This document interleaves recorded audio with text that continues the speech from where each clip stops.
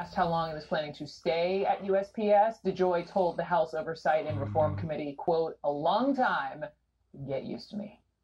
I'm Brooke Baldwin here in New York. Thank you so much for being with me. We'll see you back here tomorrow. The lead with Jake Tapper starts right now.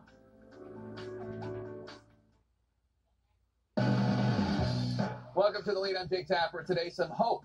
A new vaccine on the horizon. COVID cases and hospitalizations trending down and a plan from the Biden administration to provide masks to people in vulnerable pop- populations here in the U.S. who may need them. We're going to start with the healthy today and those three promising signs as we try to get out of this pandemic. First, in days, the U.S. could have its first single-dose COVID vaccine after the Johnson & Johnson version cleared a major hurdle. The FDA said today that the J&J vaccine is safe and effective. Next, a CDC estimate that always seems to predict more bad news is finally making a prediction in the other direction, now forecasting the pace of deaths will slow down even further. All encouraging signs in the battle against this virus that has stretched the better part of a year now, as CNN's Amara Walker reports. A third vaccine